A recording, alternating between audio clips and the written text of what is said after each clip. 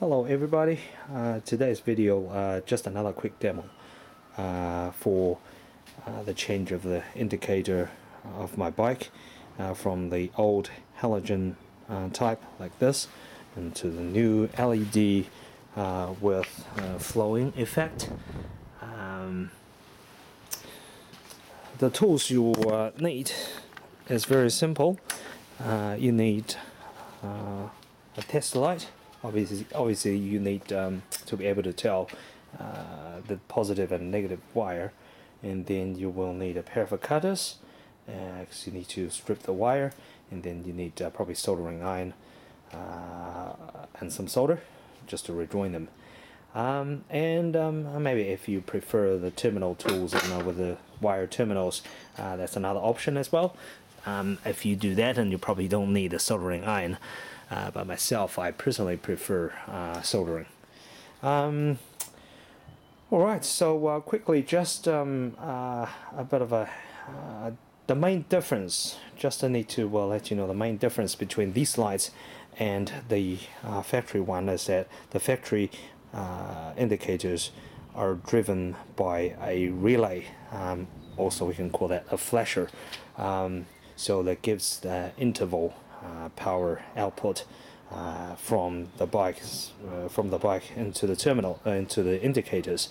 Um, however, for the new LED light, they need constant power. So to be able to do that, we will need to bypass the relay. I'll show you quickly on this bike. This is a Suzuki Boulevard. Um, this is 2015 model, I think, 2015 model. Um, but a lot of them use the same uh, relay here. So all you have to do is you need to cut the brown and blue wire in here. Uh, these two, they go into uh, the relay into this. Uh, this is just the fuse box. It's very easily accessible uh, as long as you take the, um, the chrome cover off. Three screws, you'll be able to see that. Um, and you, if you cut these two wires and join the other end together, um, I've already done it, but um, uh, I've already soldered them together and uh, with a bit of a uh, uh, electric tape because these two they, they, there's no power in it. So you can leave it like that or you, I'll probably just uh, put some tape onto um, the wires later on.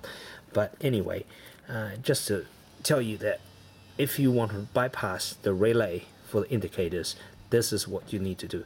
You need to cut these two wires and bridge them together. Just rejoin them together. And then um, uh, once you finish that uh, you turn your indicators or your hazard light on uh, that will give the, in, the indicators continuous out power output uh, instead of the interval uh, power output. Um, yeah, so just to let you know that this is the key, brown and blue wire. Cut them and rejoin the other end. Okay, that's it. Any questions, just uh, leave your comments below. Thanks. Bye.